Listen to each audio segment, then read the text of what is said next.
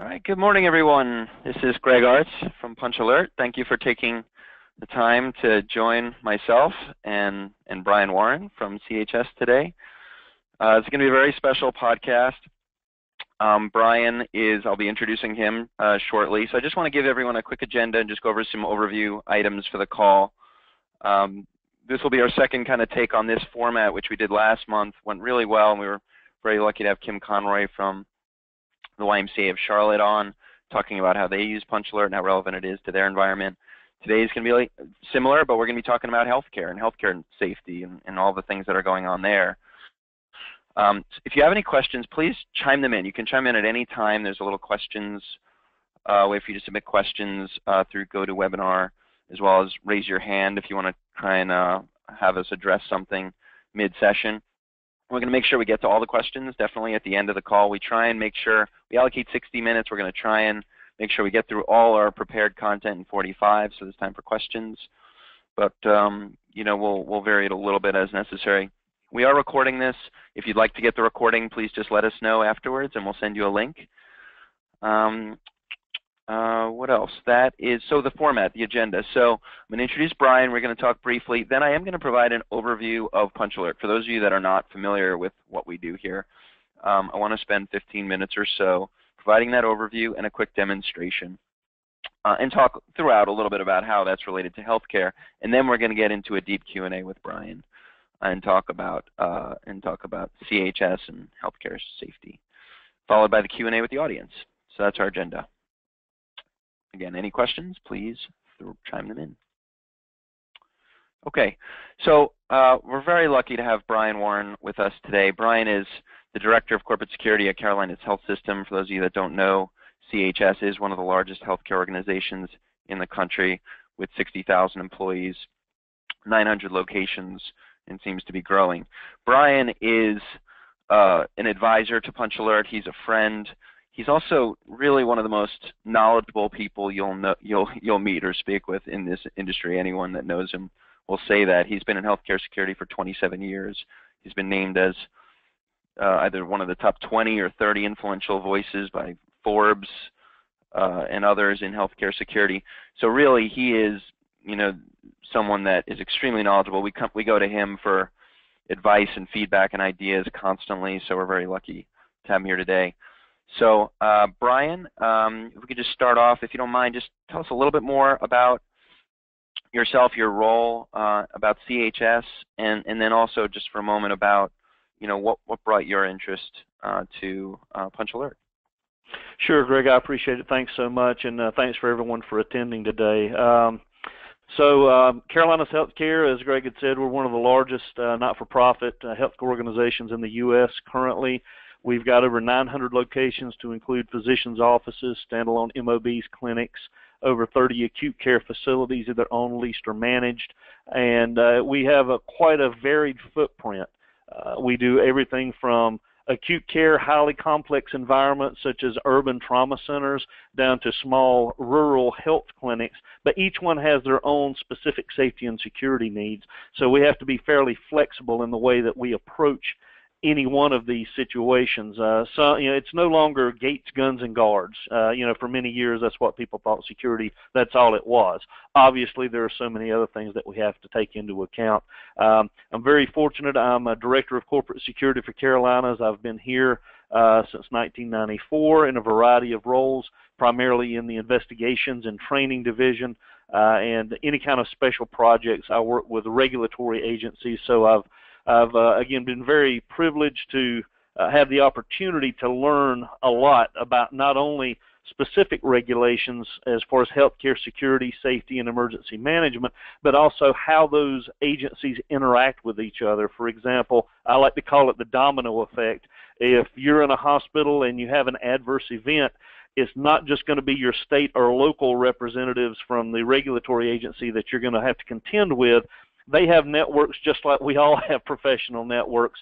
And so if you were to have an issue uh, in North Carolina, for example, and the North Carolina uh, regulatory body was involved, uh, it would not be surprising if OSHA was also involved, and then it would not be surprising if then uh, Centers for Medicaid and Medicare were also involved, and then possibly even the Joint Commission or DNV or some other third-party accrediting body. So uh, it's healthcare is a very different, very unique environment when it comes to security and safety, and one of the reasons that Punch Alert was so um, particularly of interest to me was that it met so many of the different standalone needs that healthcare runs into on a daily basis when it comes to um, a, a, quick notification of an event, workplace violence prevention, education, uh, all of these things that we run into in, in different areas.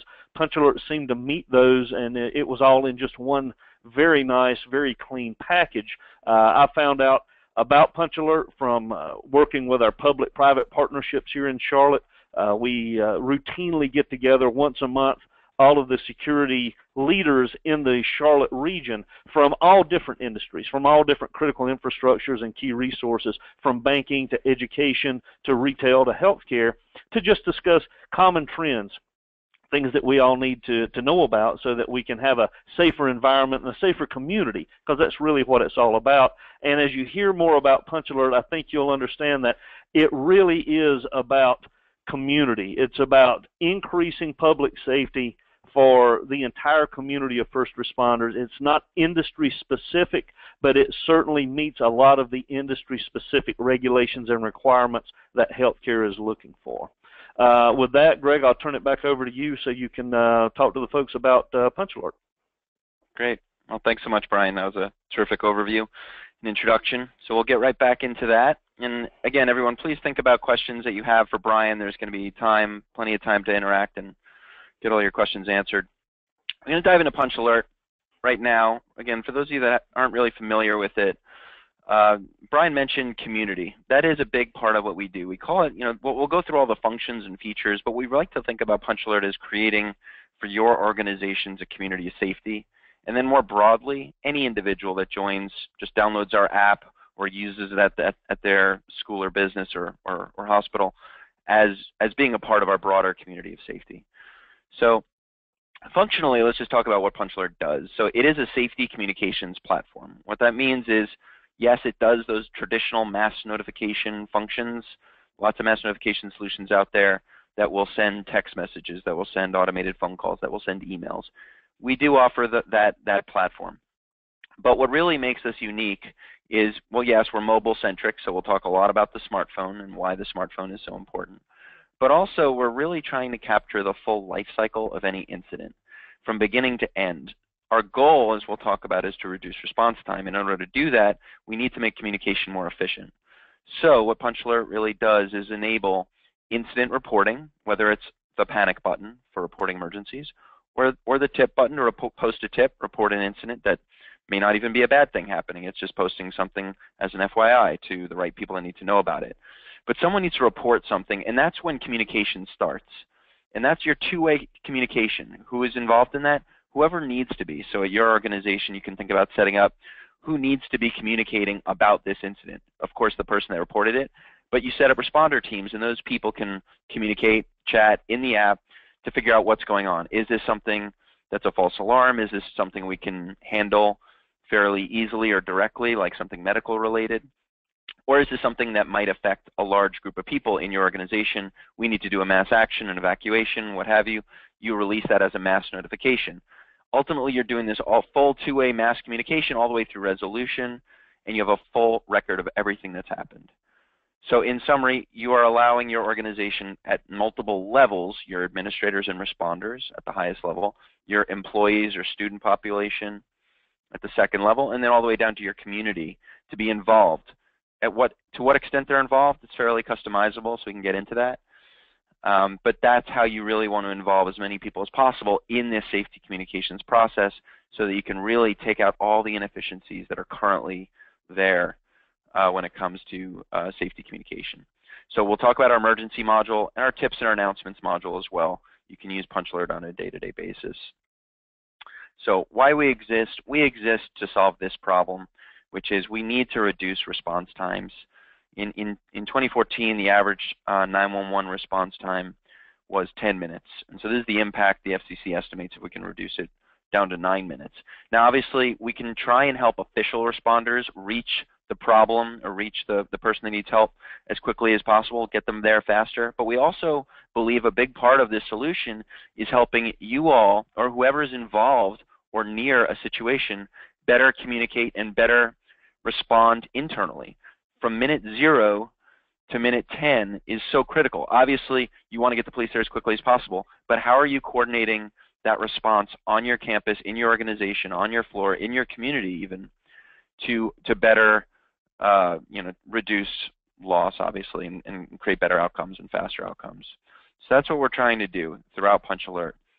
Now, we talk about mobile. Mobile does change things quite a bit, and we'll talk about how that really changes things in healthcare too. But when we think about mobile, obviously with an app, there's a lot more functionality than, than just a text message. You know, so we all get text messages. Now we're asking people to download an app as the next stage in this safety communication world. So, but by asking them to download an app, that's not as easy as it sounds. Even though it's free for them to download, you know, it still takes 30 seconds, what have you. You know, we don't like spending the time to do it. And then there's all those other questions. Is that using up my data? I don't feel like downloading another app. So that's why when we think about, we really, really focus on community because we want people to, when they download the app, whether they're being told to because their organization, their hospital, their school, YMCA, what have you, they're, they're telling everyone, hey, this is something we're adopting. Whether they make it an opt-in or not, we want people to realize that they're joining your private community, but they're also joining our broader Punch Alert public community, which is something they should enjoy being part of and be proud to be part of. So that's what we focus on throughout the product. That's what we continually try and improve upon every day. So how do you create your community of safety in Punch Alert? as, a, as an organization. Starts off with a few administrative functions. You're going to want to create your geofences. Geofences are important for a few different reasons, but at a high level, they route your emergencies properly. So let's say you're an organization like CHS with many different locations, right? 900 in, in Bryan's case. So you're going to need to create different geofences for each of these locations. And the reason that's important is because if there's an incident at one location, certain people need to know. But if there's an incident at another location, other people might need to know. Also, you don't want to be tracking people, and this part, this one's important. You don't want to be tracking people when they're not in harm's way or their location isn't important to your organization. So we restrict the tracking of location to people that are actually checked in and also checked in during that emergency inside of a geofence for that organization. So those are some critical ways we use geofencing.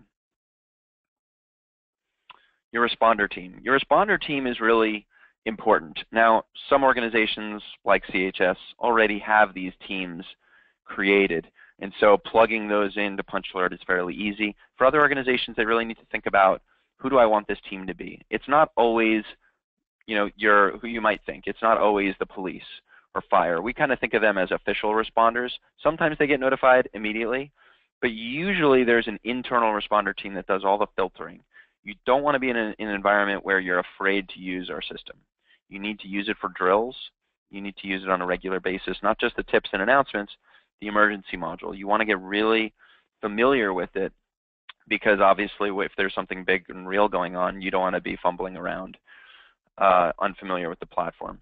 So you set up your internal responder team. That's a critical step. They do get their own training, much like admins do and those folks uh, will become your internal experts on the platform. They'll be using it constantly, communicating, and they'll do all the filtering.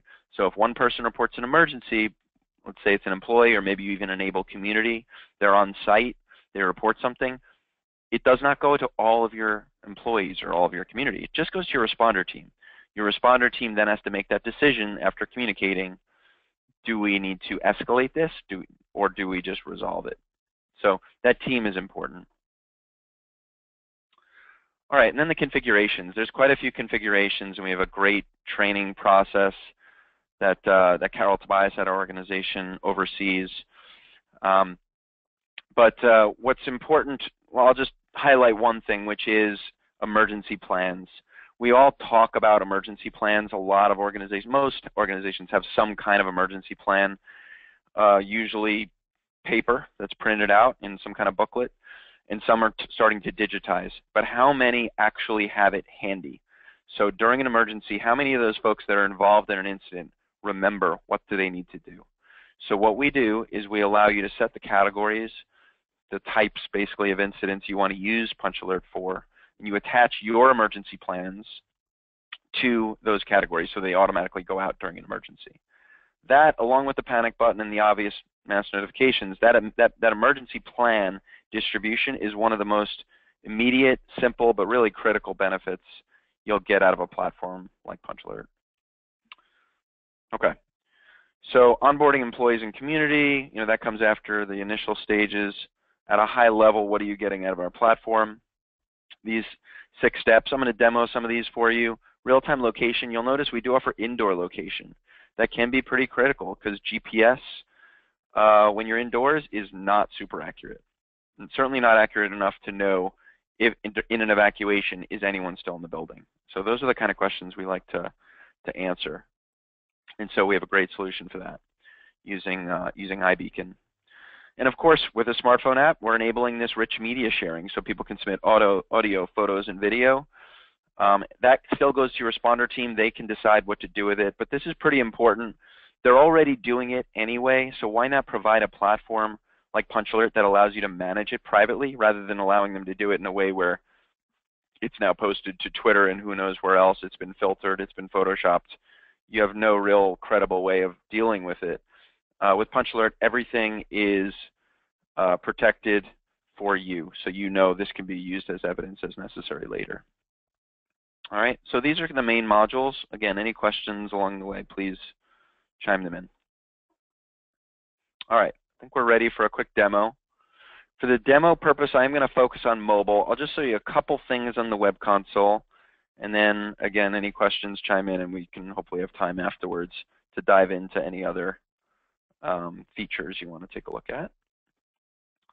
All right, so I already have the web console open. And this is our landing page for the dashboard. And it's going to give you oversight over what's going on in your organization or your enterprise. So you can manage all your different locations together from one group interface. We call that an enterprise, like CHS has. And these are some geofences you can see. There's no banner, so there's no emergencies, there's no active tips. So quiet day, that's good. And you see your main modules here on the left. You got your emergencies, your announcements, and your tips module. Those are your main ones. Your admin settings. I'll take you through a a few things in admin settings. For every organization, you've got your users to manage, and you can, of course, search through them, filter them, and every user has a certain amount of information available. Are they an administrator? Can they send announcements? What's their role in an emergency? So these are some of the things uh, you want to configure, and we can talk about onboarding if anyone has questions on that, a few different ways to do that. But this is your user page. Once you get set up and through the admin, you're fully self-sufficient. So you don't need to call us to do things like add users, remove users, block people, change their roles, and so on. All that's right here in the admin console. The locations are important. So just looking at geofencing, sometimes people get a little confused about geofencing that it's something complicated. You got to go outside and do it, uh, you know, on your property, and that's not the case. It's very simple to do. So I'll just show you an example of how you would do it near my office. You do a quick search. You can switch to satellite if you prefer. You start dropping pins on a map. That's it. You name it, you save it. I'm not going to create another one right now, but you can see what they look like. You can time them, so maybe you don't want geofences to be active 24-7. So you can think about what, what geofences do I want to be active, which ones do I no longer need anymore, Let's say you have an event going on for one night, you can just create, create a geofence for the evening. So very simple. Uh, many other administrative things to show. I'm gonna just going to jump ahead to archives, which I may come back to this after the mobile demo. But basically the, the point is every single incident in our system is archived. So, so there's a, a record of every single thing that happens. So I'll try and find a decent one. This one has an audio recording. So whether there's photos, video, emergency plans, everything is captured from beginning to end. So you have that record. So you can print it out. You have communications logs for every single person involved. You can see who checked in, who was released to. So this is pretty important. And of course, you can export your images, your video, your audio. So now, as opposed to having, you know, all those phone calls going back and forth, um, some people texting, some people using two-way radios, physical panic buttons, intercom systems. These are all great systems. We never tell anyone to take away any of these things. However, as much as you can move all of those incident-related communications over to Punch Alert, now you have a full record of exactly what happened. All right, let's move on to the mobile demo. I'm going to take a moment to put my phone on the screen. Does anyone have any questions while I'm doing that? I'll monitor that. Okay. Quick time check. All right, doing all right. Okay, so hopefully you can see my phone on the screen now. And you see the Punch Alert app here at the bottom. I'll pull it up. So a few things I'll show you. We're not going to go through everything, obviously, but I want to show you what it's like to report an emergency. Now, by default, it is using your current location. Okay, notice sometimes it takes a second to triangulate, especially when you're indoors. Now the blue dot is where I am right now. The black pin is where you report an emergency. So it could be your current location, but maybe you want to report an emergency across the street. You can drop a map, you can search, and let's go ahead and hit the red button. Actually, I'm going to cancel that. The reason it's defaulting to Punch Technologies and you see my logo here is because I'm inside a geofence. So that is why. So it's constantly thinking about what's the smartest way to report an emergency for me right now. Okay, so you could override it. You know, there are ways we could talk about that. There's other features like text to 911. But I want to report an emergency to Punch Technologies now. I am a responder, but since I'm the person that reported it, I don't need to be getting all sorts of notifications. At this point, I've reported the emergency, I've categorized it as a fire, and there's an emergency plan available. Again, simple, it works, it gets your plans out to people that need it immediately. You can also see on the map, I dropped the pin over there, so the emergency is over there, but I'm over here. Now you can get directions to any of these locations. You can switch to satellite mode if you prefer. And if you really want to have a better view of where I am or who I am, you can view my profile. And this will tell you my role, what I look like, my check-in time, the region I'm in, which is really the name of the geofence, and any beacons I'm near. This is your indoor location. So I'm going to I'm going to upload a picture of these beacons. As you can see, I'm very close to them. They're less than a meter away. Imagine this was labeled Greg's office or room 203 rather than demo 2 because they're my demo beacons and I travel with them. Now, if you needed to call me, you can see my number there. You can locate me on the map and so on. So who has access to this emergency right now? Only internal responders. And I can see exactly, more specifically, who's involved in this. Right now, it's still just me. Other responders haven't checked in. In your organization, trust me, you'll have a bunch of people checking in right away once you do that. So what I'm going to do now is I'm going to start communicating as I would normally. Uh, suspicious activity. Don't mind my spelling. They might do that, might submit an audio recording. Uh, we have some activity on the first floor if you could send someone. Or maybe a photo or video. I'll take a little photo. Those are the beacons I'm near. So we can talk about those all clear on floor one. Submit that. Okay, so all that content has gone into the emergency stream to responders. Now there's two other buttons I'll show you, the red button. This is for if I needed to call someone. So if I need to speak to a responder on my team, I can just pick, pick one of their names and call. Some, some organizations prefer to have 911 here, or maybe you have an emergency line that people want to call.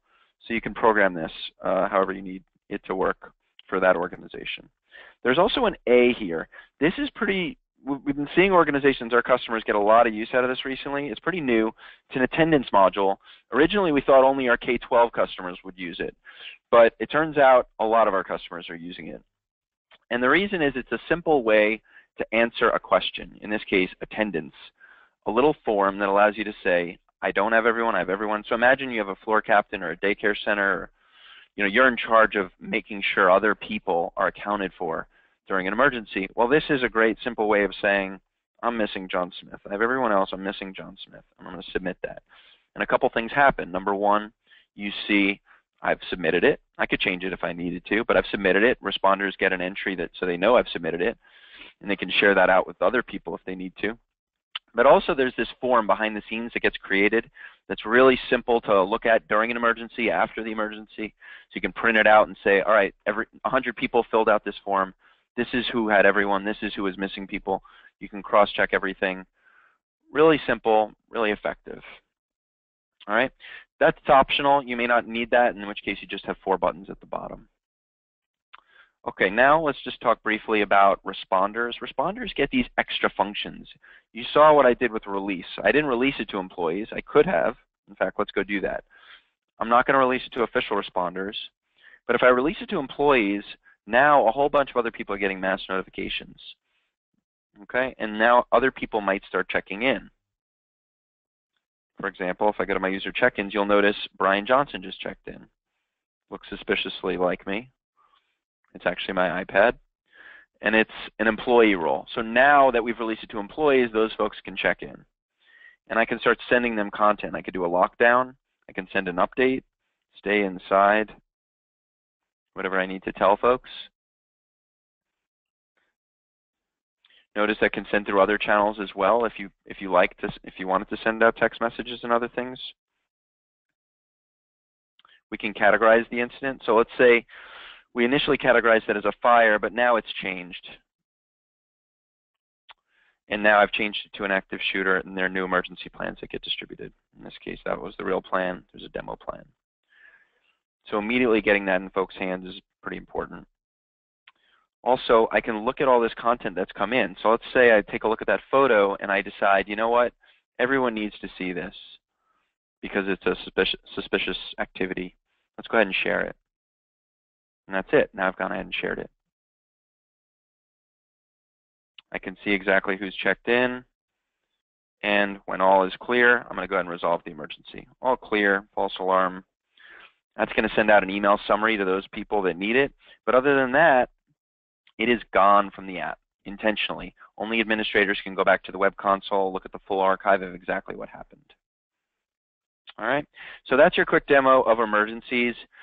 I won't show too much on tips. Tips are very, you know, they're we're, we're seeing customers get a lot of use out of them recently because they're they're simple. They're they're actually kind of fun. Even you can use them for positive things. I think Bryan's going to talk a little bit about. He's had some really creative ideas on how to use this, but it's all customizable. So for each category, you can decide which categories you want, what image, and who needs to receive them. So people can submit content like that. They can submit a photo. They can comment on it and say. Uh, you know, on our way or what have you. So it's a little simple social kind of way to manage things that are happening on property, all clear. And one of the things you'll think about as you start moving forward with Punch Alert is, how can I connect this to any other systems I already have?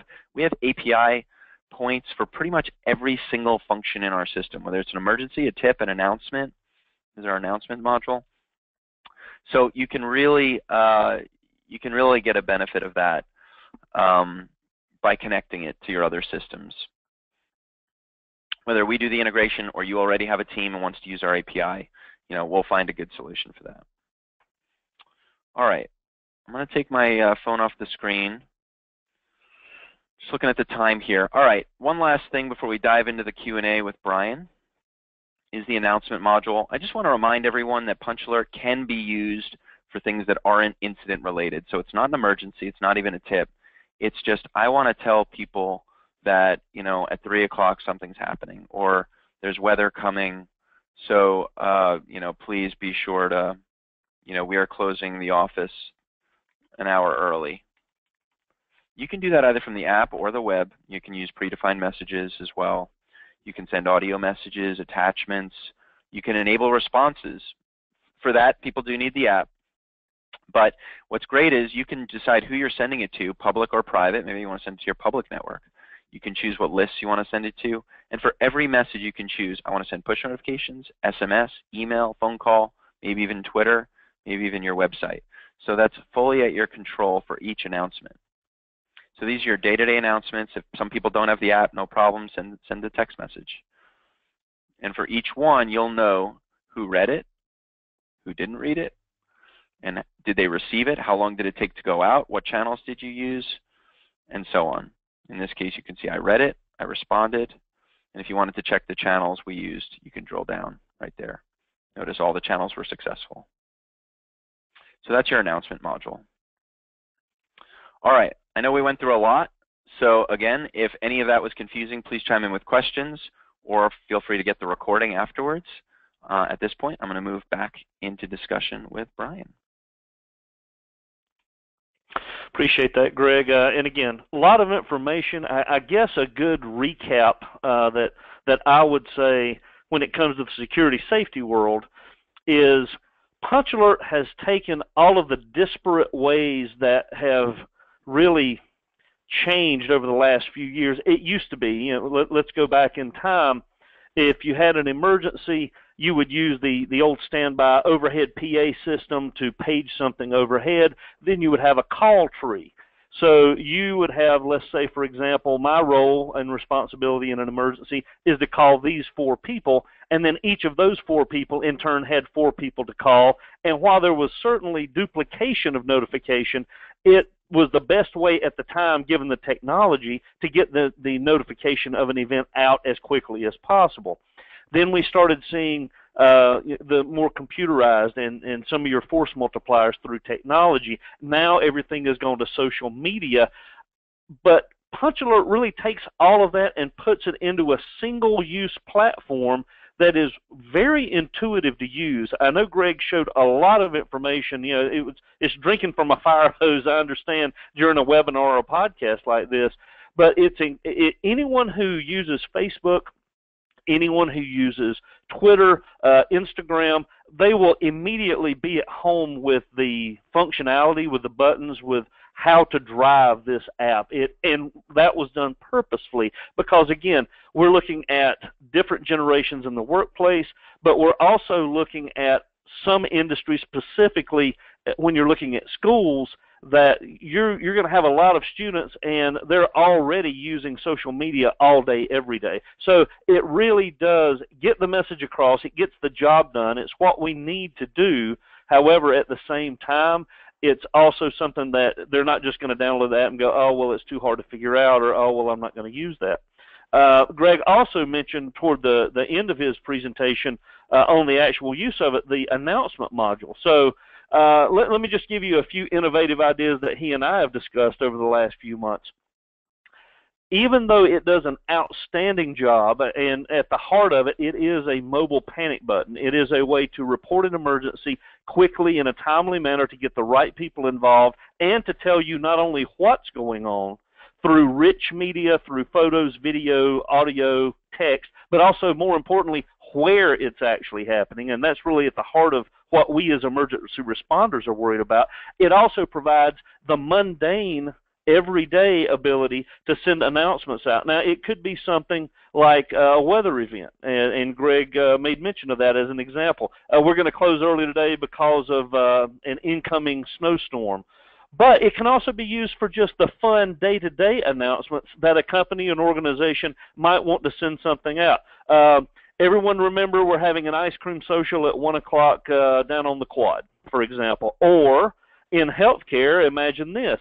Let's say, for example, that one of our accrediting agencies shows up for an unannounced visit.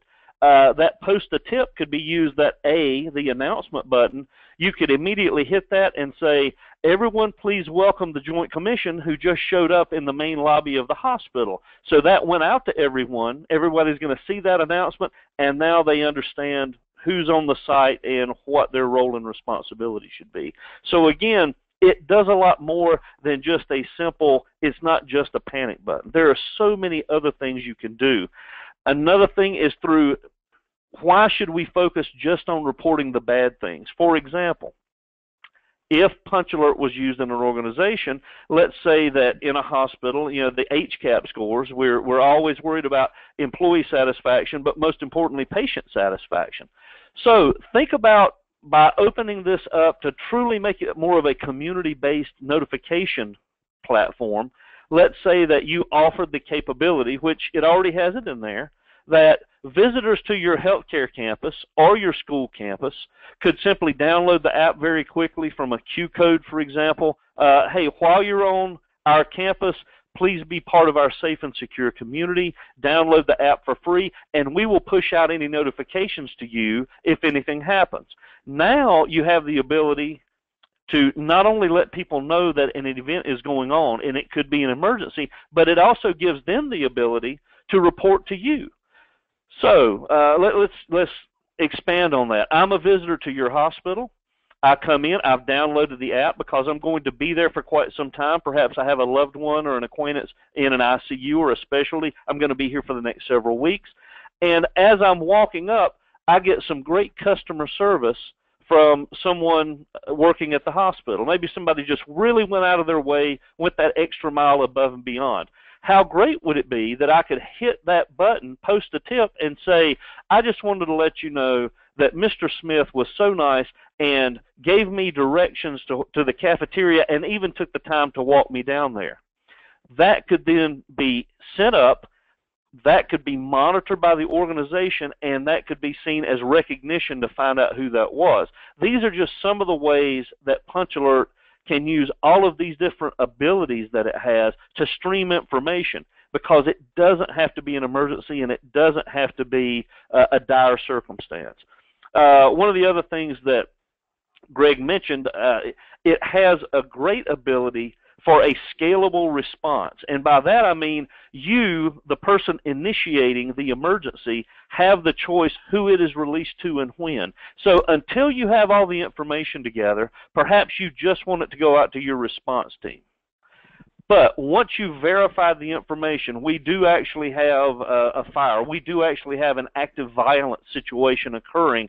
At that point, you can determine, or another of your responders that gets on the scene can determine, we need to release this to either the general public, we need to release it to the local first responding authorities, but you have that capability. It's not a, I've hit the button and now it's gone to everyone at one time and I can't bring it back you have the capability to set up those levels of who gets notified and when. Now, there are, especially in healthcare, a lot of different levels, as I'm sure we're all aware of that have worked in the industry, and, and this is true in other industries as well, of people that want to be notified. And everyone says at first, I want to be notified of everything. But uh, those folks that are not in the safety and security world, they realize quickly that uh, you will drown very fast if you want to be notified of every little thing. So we've set up the ability that, that our security team here at Carolinas Healthcare, we can notify one another, our leadership group only, of those important things when they occur, but then we can also then include a next level of administration as needed.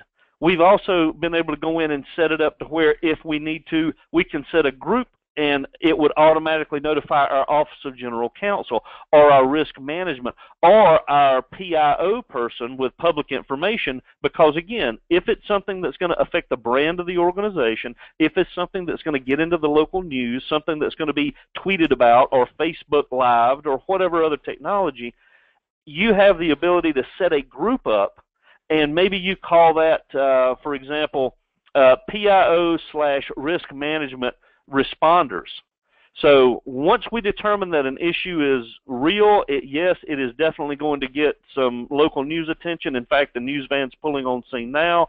You can select that, and it will automatically send that notification out. And one of the uh, other great things about Punch Alert is once you send that notification out, you can go back later and you can determine when it was sent out, whom it was sent to, and whether or not they got the message. And that is so critically important in an after event hot wash when somebody is trying to do any kind of a uh, root cause analysis or an investigation as to, okay, who knew about it, when did they know about it, and what action did they take all of those things are already built into the app which again that was one of the the great things that we liked we didn't have to try to cobble together multiple analog and digital technologies to make this happen it all is on one platform and once you learn the platform and use it for a little while it's very very simple to use um, other things, and I can just speak from my experience with using Punch Alert. Uh, all of us have to be uh, budget conscious. Uh, you know, it, regardless of your industry, but particularly in healthcare right now, uh, this is a huge issue. Uh, there is no capital expenditure up front, which is great. Um, as far as installing hardwired panic buttons, uh, you don't have to worry about cabling runs. You don't have to worry about preventative maintenance and maintenance checks on those buttons. And what if somebody picks up and moves? What if this unit is going renovation and wires get cut? Since it's a truly mobile platform, you don't have to worry about those that button is there and now someone's accidentally disconnected the wire because as we all know it's better not to have a panic button than to have one that's not functional and hasn't been tested because it gives the false impression that that person's hitting that button expecting that help's coming when in fact it was disconnected several weeks ago because of a renovation in the IT closet or whatever the case may be. Punch Alert avoids all those kind of situations. And since it is truly portable, it is so great for some of the unique aspects of some of our healthcare workers. For example, think about home healthcare workers. These are individuals that provide health care, but they are truly transient. They are never in the same facility. They are actually going to residences. They're going to people's homes, and they may go to that patient's home for a week, a month, six months, but once they finish, how could you move a, a hardwired panic button from one place to another? And there, there's a lot of ways to do it. But Punch Alert literally follows the person because it's on their device. And let's face it, everyone carries their smartphone with them wherever they go.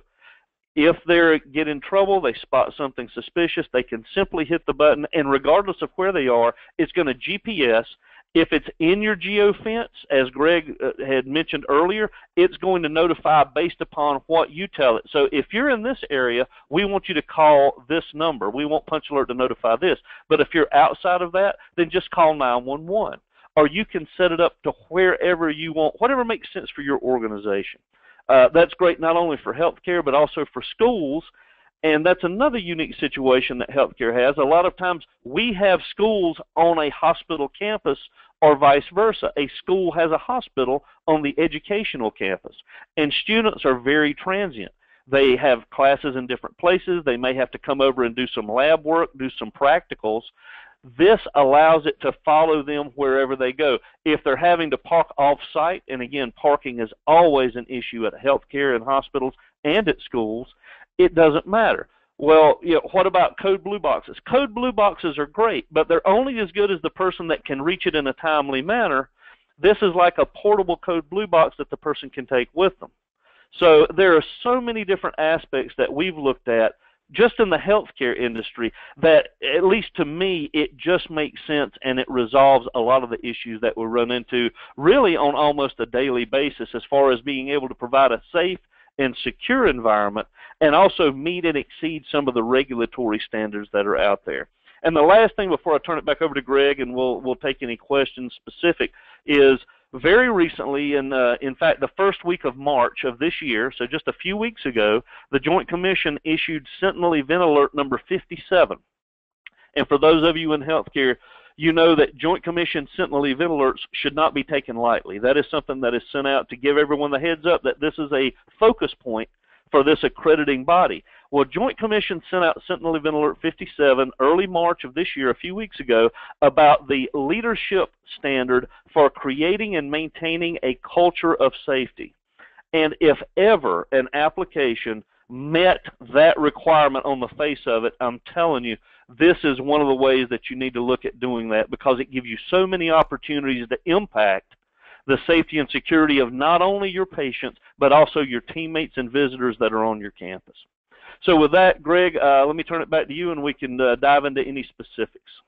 All right, sounds good. Thank you so much, Bryan. I appreciate that. And I think you you covered uh, most of my questions, so I'm just going to add one more. But I'm glad I'm glad you really tackled all those points because I mean, I think everyone's hearing how you know your your your background, your expertise, just from what you're describing, uh, and how lucky we've been to, to to learn from you and working with you in this space.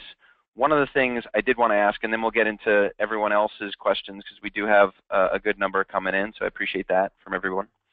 Um, is just workplace violence. Um, it makes sense, but it doesn't. It, didn't. I didn't realize the facts until you uh, shared them with me, which was the fact that workplace violence uh, was four times more likely to happen in healthcare environments than in other industries.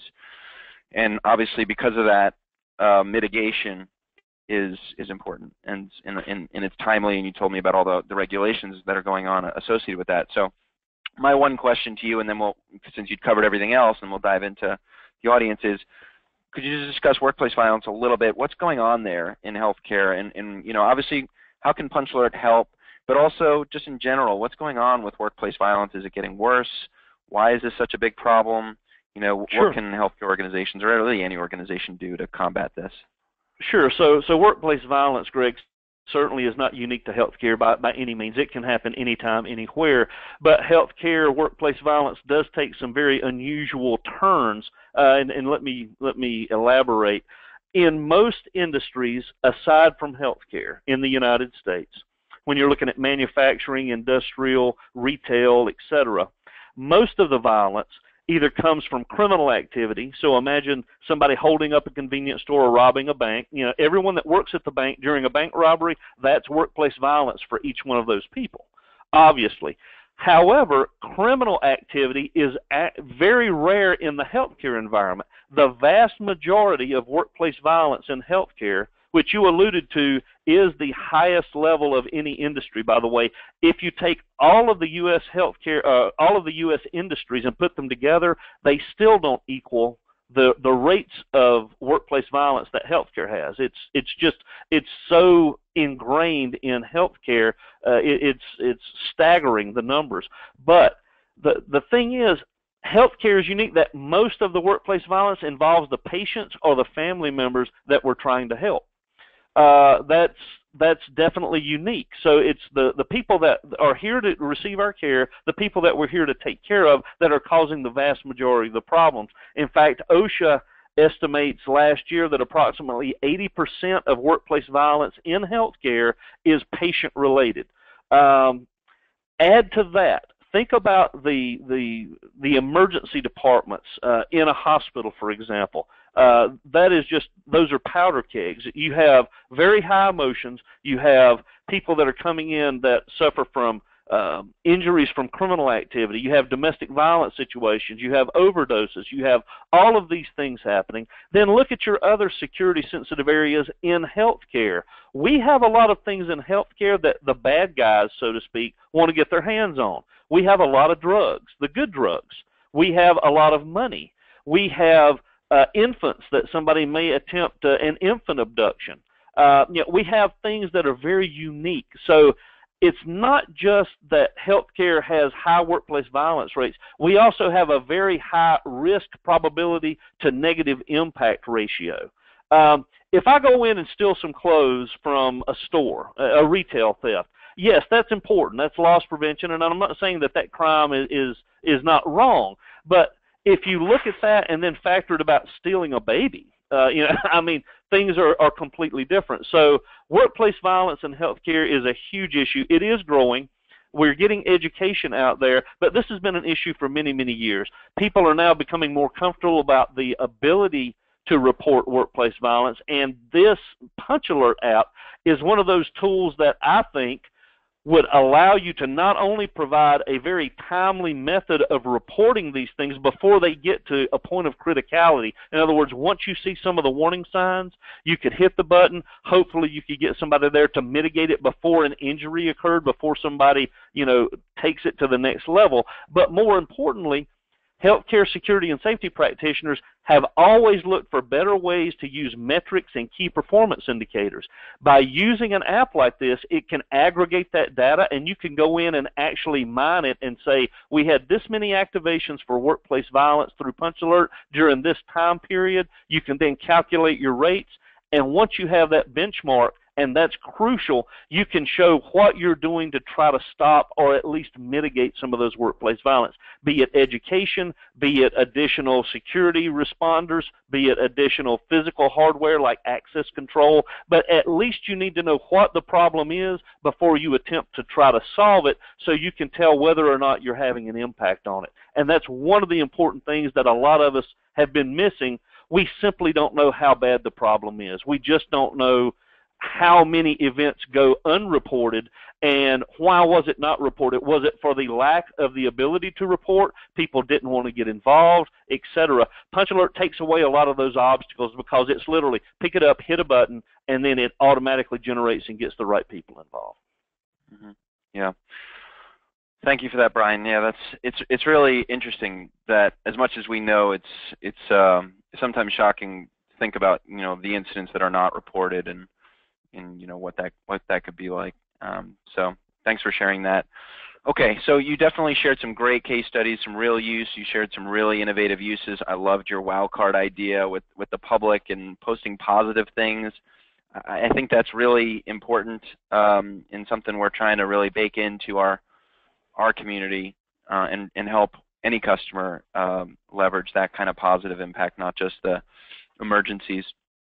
So uh, at this point, we do have some questions coming in from the audience, so I'd love to let's start and tackle them. So Bryan, hopefully you and I can kind of tackle them together here. Sure. Um, I'll start at the top of the list. So first question is, how will Punch Alert save time when it comes to first responders finding location of an emergency? With mobile phones, 911 does not know where you are, correct? Um, yeah, so that is that is just a very basic and shocking problem today in the state of 911. When you call 911, uh, they're really they don't know your exact location. Location is inaccurate. Uh, I don't know the exact figures. They're still saying it's it's it's it's very very high. It's rare that they have an exact location. I think maybe 25% of the time they really have don't any, don't even have a reliable location, which is why they always ask, "Where are you?" That's their first question. Um, now, it's just because the technology was built for really landline phones, not even cell phones, and much less smartphones. So, so yes, Punch Alert is providing responders with a much more accurate and real-time location awareness. So it's not a moment in time. If you're moving, that's important. Um, so yeah, it's using GPS, it's using iBeacon as we stated for indoor location awareness. That's pretty critical for location. Um, anything, uh, Bryan? Anything I missed on that on that one?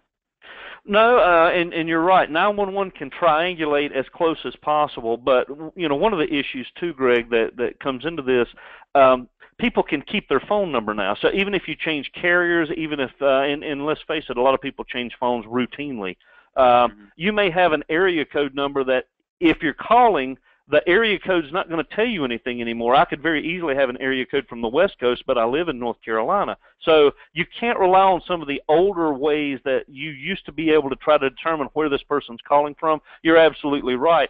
But the, the GPS function, and, and especially with the iBeacons, uh, and you had brought it up earlier, if you just using Punch Alert as is, you're going to get a, a fairly close, uh, you know, uh, and Greg, you can say how close, but a, a very close address of where you physically are.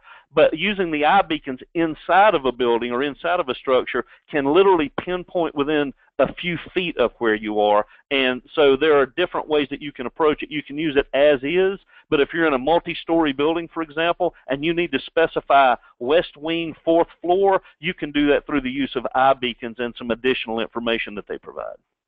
Yep. Yeah, absolutely. And it's within a few feet. And the multi-story use case you describe is exactly the big, you know, we're talking about saving time. If you know someone's in a building but you don't know what floor they're on, that can take quite a bit of time to find that person. So yeah, I, I, there's some federal, there's some discussion at the national level about whether there should be law for indoor location awareness.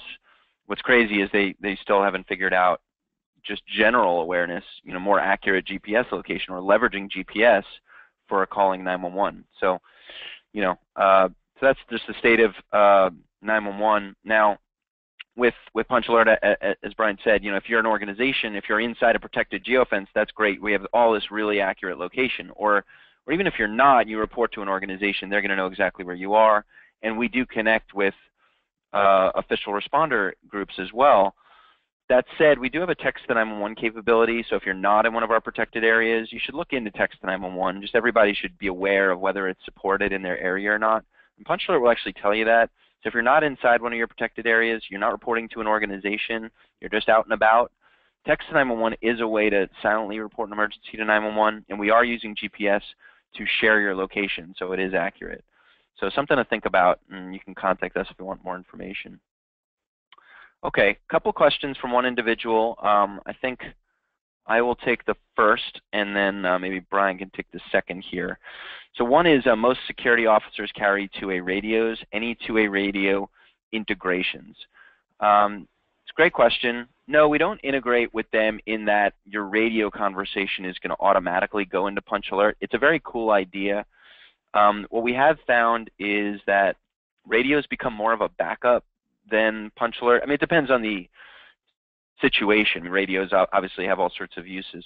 But during an emergency, the reason I, I, I call it a backup is because with Punch Alert, again, there's a record of it. You can include all the right people. With radios, the problems we hear are, oh, I had my volume off, I missed it.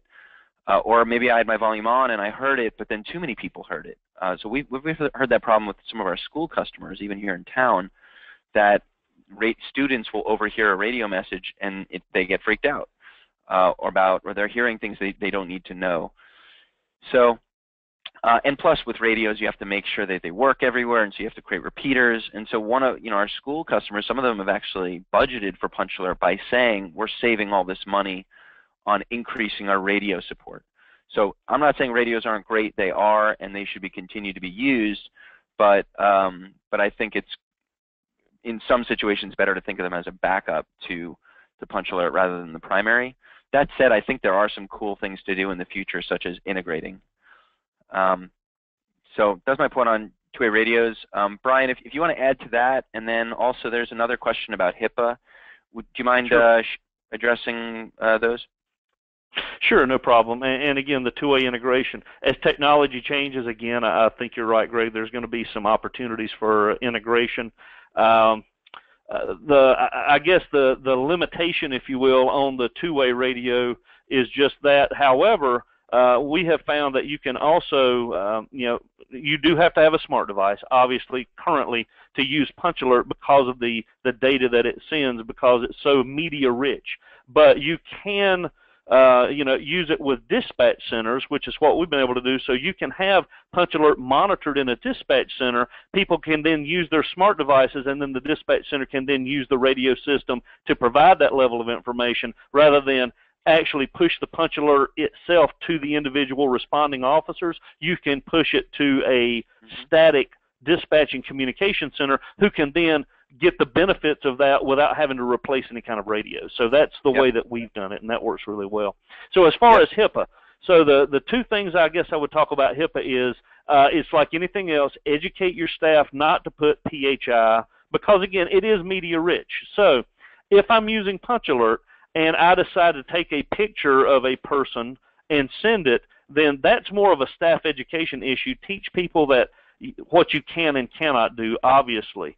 Uh, as far as if any PHI does end up, any protected health information ends up on the punch alert for whatever reason, the nice thing is, and Greg had mentioned it very briefly, but once you resolve the issue, in other words, I'm on the scene, I started it, I hit the emergency button on my phone, whatever I put on that phone, be it an audio recording, a photo of something, or even a text message, once it is resolved, it disappears off my phone. It no longer exists. I couldn't call it back up if I wanted to because everything has gone to a secured cloud server once the resolution button is hit it, it disappears. So there is no latency. It's not like if I lost the phone later, somebody could get it and go through it. There's nothing there any longer. Now, that's done for a lot of practical reasons because you don't want a phone to fill up, obviously, in the memory, but it also addresses this very critical point of there's no PHI on it once resolution is hit. And, and Greg, correct me if I misspeak, but that is, it goes to your secure cloud location. You don't have to worry about it being on the device itself. That's correct. Yep, absolutely. Yeah. Yep. Great. All right. So we have a few minutes left. So I don't know if we'll get to all these questions, but I do want to get to a couple more if we can. Um, let's look at this one. So one person's asking about costs. You know, what are the costs for a 30-person home care department, for example? Well, you know, as Bryan mentioned, the, the, the cost is pretty straightforward and transparent. We do have two packages now, so there's a premium and an enterprise, but uh, it ranges between $2 and at most $4 per user per month. These are for your employees. If you have part-time employees, we can work out, you know, uh, discounts if you have a lot, if you have a large number of uh, part-time employees. And then you can think about your public, your community. We don't charge for those. So as long as you're distributing your announcements, your interactions with them using our app or even using email, there's actually no cost at all for using uh, Punch Alert with the public or with your community. Uh, if you want to engage uh, some other channels like text messaging and voice, we do have a, a, fee for that. But the base cost of Punch Alert is this usually $2 up to $4 for the full enterprise platform uh, per user per month. Generally paid annually. Sometimes we do sometimes we do multi-year contracts. Sometimes we go month to month, month to month. So we're pretty flexible in that in that way. So cost is pretty uh, affordable. And as Bryan said, there's no upfront, so we don't charge setup and training fees. We do include that, um, and uh, yeah, and obviously no hardware other than the beacons. If should you you know should you want to buy the beacons, um, but those are also fairly inexpensive. We can get into that. All right, one last question. I think uh, it's, as it's 12 o'clock. As Bryan pointed out, workplace violence is a definite issue, but workplace or school bullying seems to fall into that category. Is this a is this a way for people to report bullying without fear of repercussion, i.e. violence, therefore stemming the fear factor that bullies use? That's a, that's a great question. Um, we've, we've heard this question from schools, although uh, our K, two K through 12 schools have not rolled out to students in the past, although they've talked about it a lot. Obviously, our, K, our, our higher ed do. Uh, in K-12, they haven't, but we've had a lot of our customers talk about uh, certainly their upper school, their high school, rolling that out, and bullying has come up. And we, we have created, obviously you can create categories, but one thing we'll be adding to the next version of Punch Alert, a little exclusive, there is a major new release coming this summer, uh, or actually late spring. And, uh, and one of the features that we will be adding is an anonymous option. So the organization, the school, the business, the hospital will have the ability to enable the anonymous option or not. But that I think will really allow for bullying to get reported without that fear of uh, of repercussion. Even if we didn't enable anonymous, it's only getting reported to whoever the organization the customer decides should get it. So it's not like it's going out to other kids that can then see this publicly. But still, without anonymous, we know some people are afraid to report that kind of a thing. Um, and so the anonymous option should uh, should help. So, One thing too, um, Greg, that yeah. uh, in, in, a similar vein, that's going to help in your institutions of higher learning in your colleges, uh, and, you know, whether they be uh, healthcare related or just on a college campus. With the changes a few years ago to the Clery Act and Title IX and the VAWA uh, regis- uh, legislation, that's Violence Against Women Act, uh, you know, one of the huge educational components of VAWA was if you're a bystander and you see a student that is engaged in some activities such as drinking or perhaps you know some kind of recreational drug use that might get them in trouble you know it it it really strongly suggests that you as a bystander take some kind of action to try and get that person out of there. Now you know try to get them some help before some some kind of sexual assault could occur Punch Alert can fit that because then by using that, you as a bystander can simply report that anonymously, let somebody know, and then if it's on campus, if it's at a frat party, if, et cetera, et cetera. So there's a lot of other ways that that could be used, not just in K through 12. Uh, and Clery Act and VAWA is definitely something that you know would would be a great use of this to meet and exceed those requirements. Hmm, that's a great point. Uh, Bryan, if you could just ask one, answer one last question for the group, and then we'll let everyone uh, go for the morning. And again, I really appreciate your time. Uh, and that is why, if you could just talk about Punch Alert differentiation, and why did you choose Punch Alert over other uh, products out there? Sure. So uh, I, I, guess the, the, the, the two big points were ease of use because it is once you get it and you you play with it and carol does a fantastic job on the training. I, I i can't speak highly enough about that but it is very intuitive. It just makes sense. If you're comfortable with a smartphone at all if you've ever used facebook or social media you'll get it. The, the it's very easy to understand. So ease of use was the first thing. And the second thing is it met or exceeded the needs of so many other disparate systems that we were able to show efficiencies as far as rather than having five or six or seven different systems out there, we could take those, put them all into one, and then we just had a much more efficient model, not only for the reporting, but it also took away a lot of the preventative maintenance. It took away a lot of the capital expenditures. You know, I, I don't have to run a wire or a panic button. Now it's just a matter of, oh, you're going to be working in this area. You need to download an app and put it on your phone. This is how it works. We do a training session and we're done. And then the other big thing was it's not just for people when they're at the work site. Obviously, organizationally, you're concerned about your, your teammates, your staff, your employees when they're at the work site. But this is also a huge employee satisfier because Punch Alert goes with them. If I leave, I get off work, I clock out, and I go to the grocery store, I can still use Punch Alert to call the police if I see something. And so we're taking care of employees not just when they're here, but we're truly caring about their well-being because they're a valuable asset, and you can demonstrate that because Punch Alert goes with them. And I think that was a huge intangible feature that I did not see in other products.